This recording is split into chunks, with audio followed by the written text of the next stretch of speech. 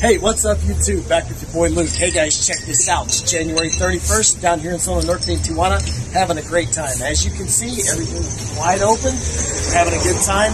Bars are still open upstairs. Downstairs is closed. Upstairs is open. So, if you want to come to Tijuana and have a good time, don't hesitate.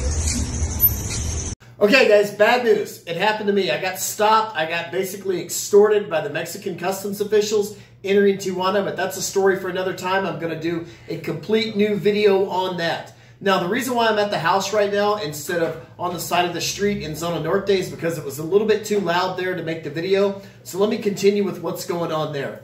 Okay, guys, check this out. February 5th, I'm told that everything's going to be wide open just like it used to be, okay? The bars downstairs are going to be open. The hotels upstairs are going to be open. I'm told that February the 5th is the day it's going to happen. I'm also told that there's been some remodeling done at the Hong Kong Club and at the Adelita Bar that everyone's really going to enjoy and have a super good time with.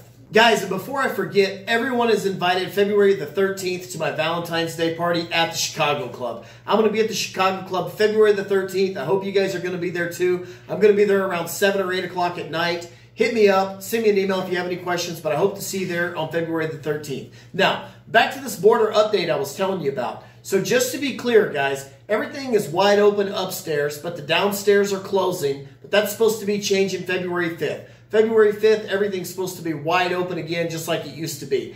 I don't know if that's going to happen or not. We're just going to have to wait and see. But for right now, also, all the street girls right now are back on the street working, okay? Guys, and last but not least, all the bars on Revolution are open for business, right? Revolution is on and cracking just like it was before the pandemic, okay? Go ahead and smash that red like and subscribe button if you haven't already. Guys, check out my next video. You're definitely going to want to see it. It is real. The great Luke Powell got extorted going into Tijuana. I'll tell you guys all about it, but it's actually my fault. See you around. No le gusta que le digan qué no hacer.